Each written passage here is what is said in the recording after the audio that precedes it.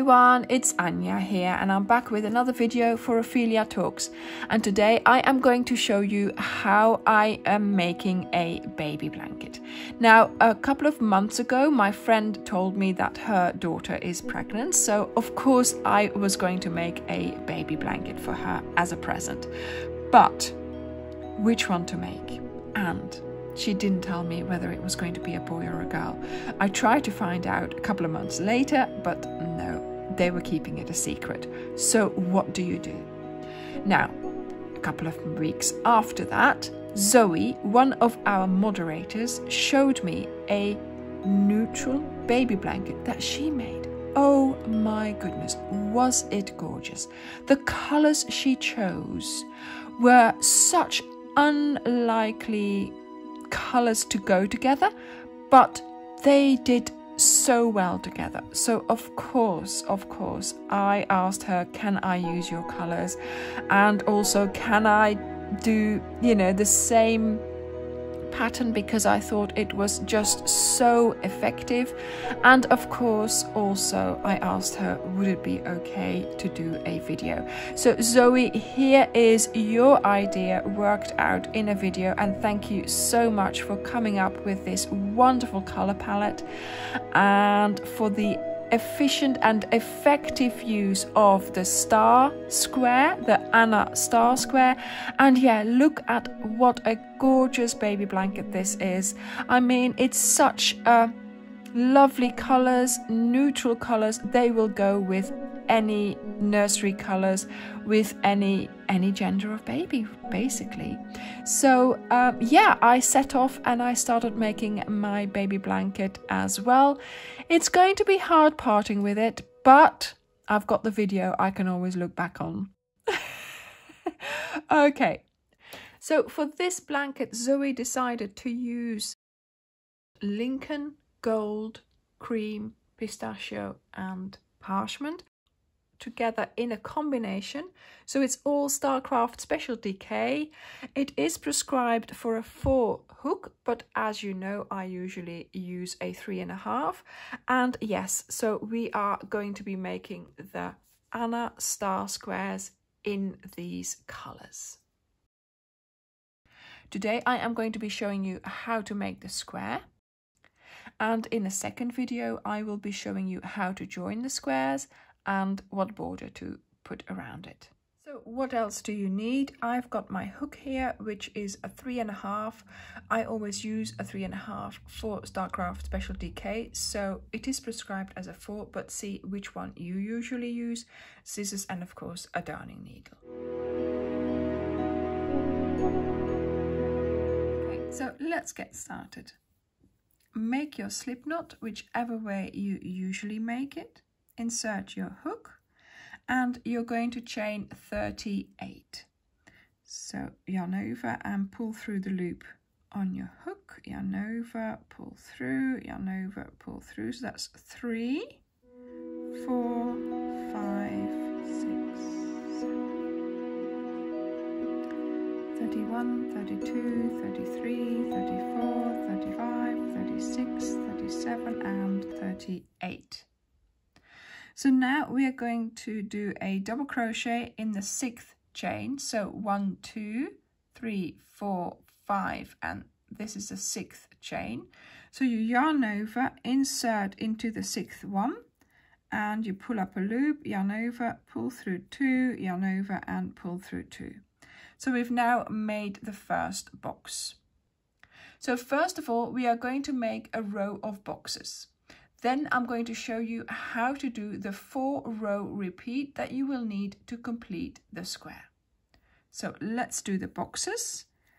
Chain one, skip a chain, and into the next chain you're going to do a double crochet. There we go. Chain one, skip one, into the next one, double crochet. Chain one skip one double crochet in the next. And this is how you are going to continue all along your row here. And in the end you should have 17 boxes.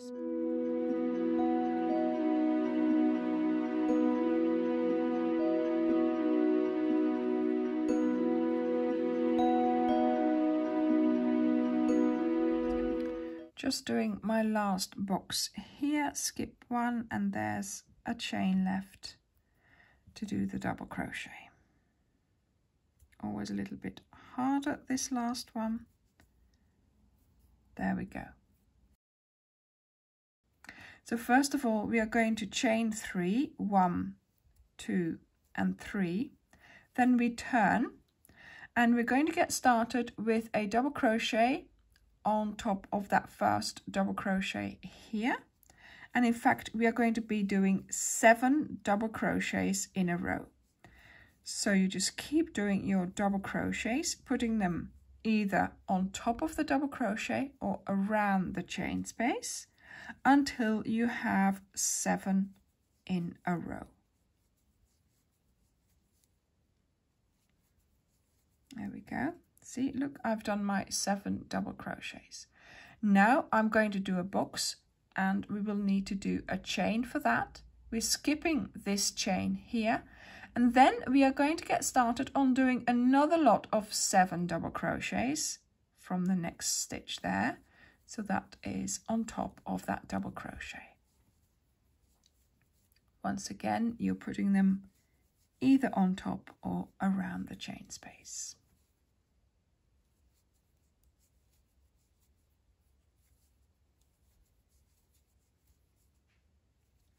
There we go. So that's my second lot of seven double crochets.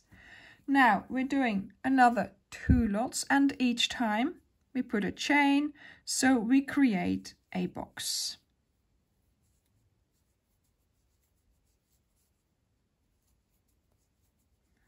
And here, of course, I'm doing another lot of seven double crochets.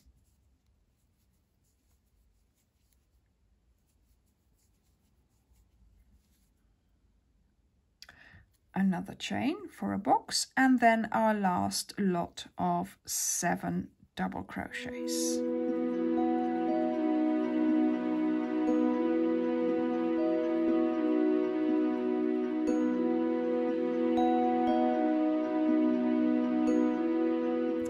Now, of course, we have to make a box at the end.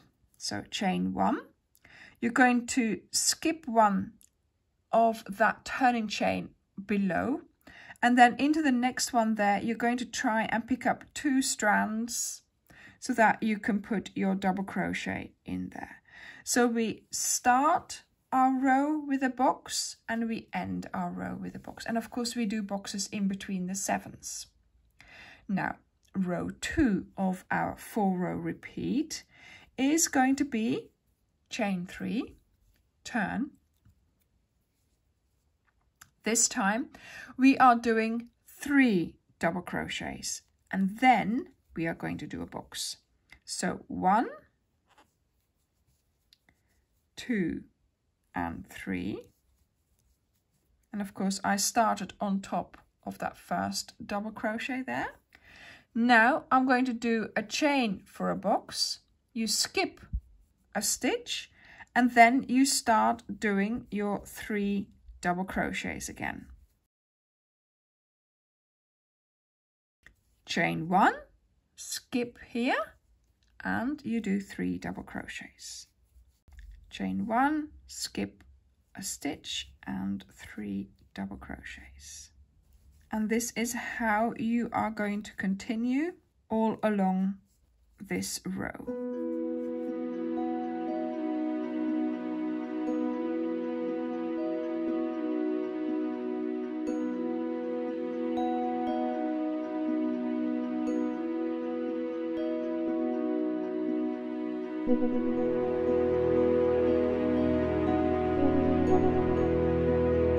And then of course we end the row with a chain one, skipping the V there and a double crochet in the next stitch.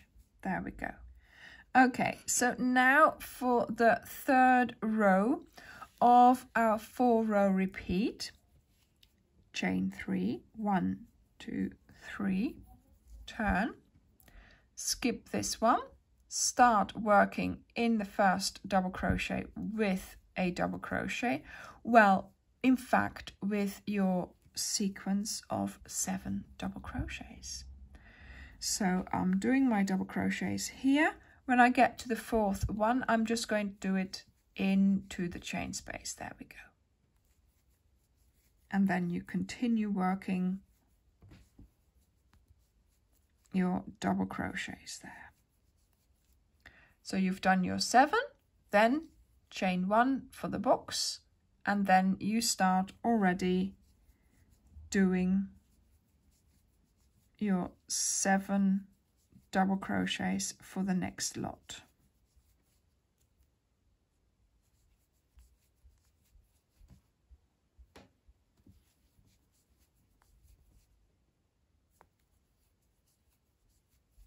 Chain one, skip the chain space and start doing your seven double crochets. And of course we do this four times.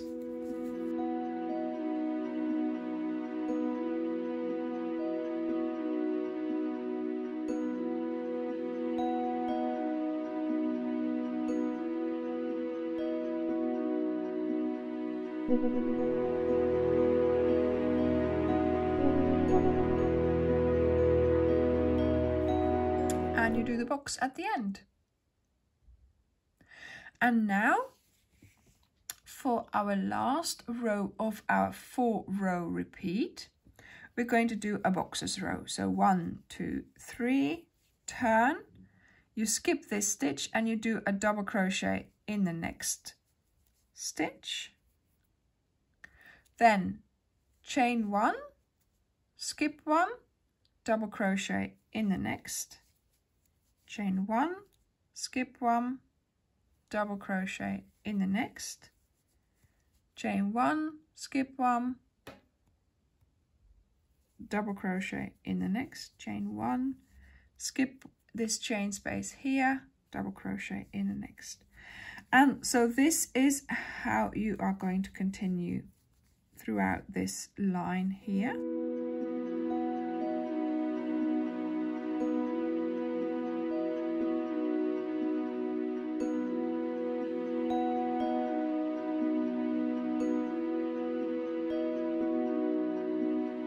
And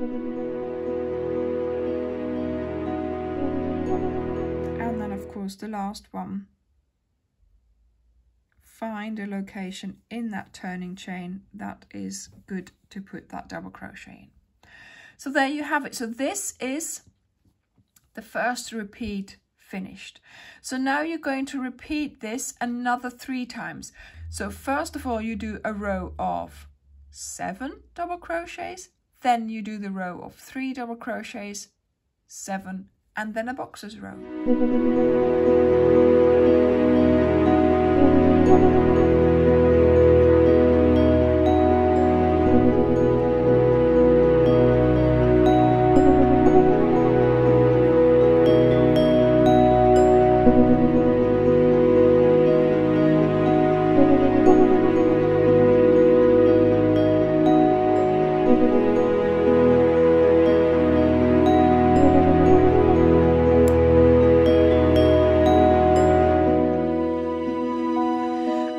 So now we're going to put the stars on.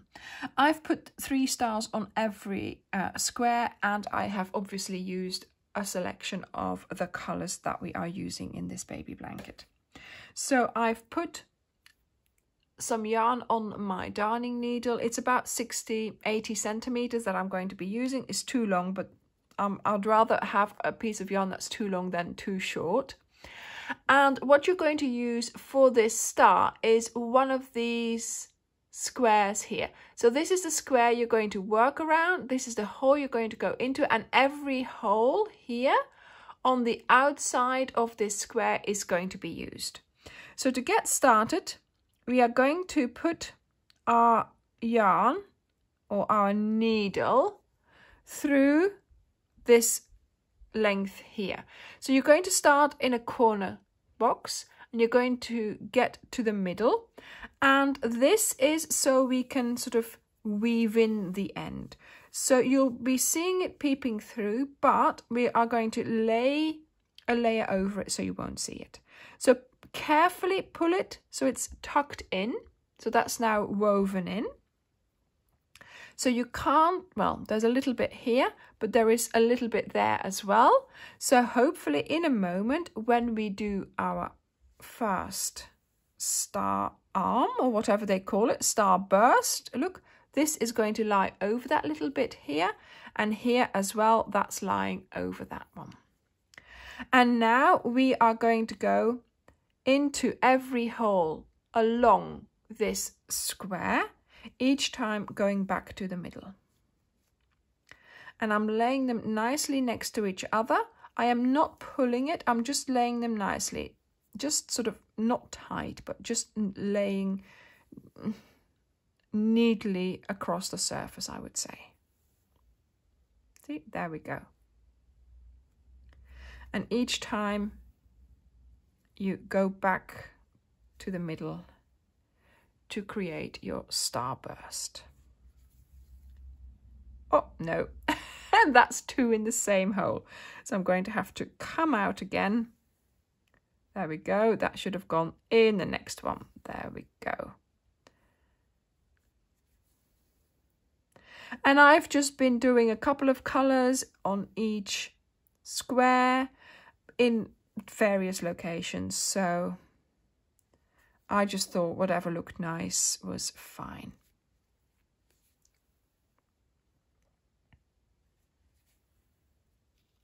There we go. And yes, I've got too much there, but that's okay. Right, so I've done my starburst now. Now I need to get rid of my end, of course, and we're going to do that in the same location as where we started. So this time I'm going to go into the same, or near the same place where I came out earlier, trying to pick up as many inside the bodies of the stitches as possible so you can't see it running there nor too much here can you see it?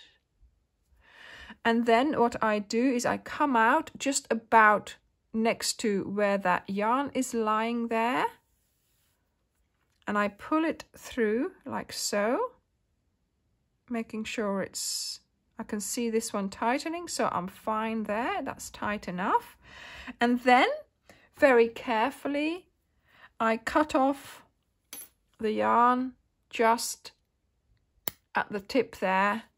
And so this here contains my start, my end, and one of the starbursts.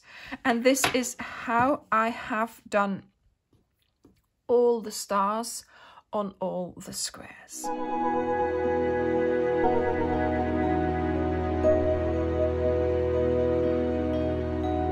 Of course, now you have to decide how many squares you are going to make, what your layout is going to be, and of course how big your blanket is going to be.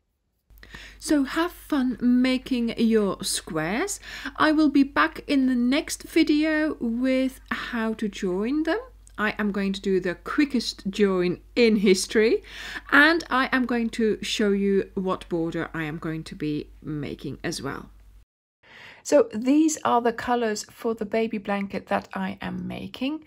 We've got Lincoln, Gold, Cream, Pistachio and Parchment and I am selling this pack in my web shop and I am selling this as a pack of 15 colors so there's three balls of each color. This will be plenty to make a baby blanket or even a single bed size blanket. If you're interested in this pack, do go and have a look at my website.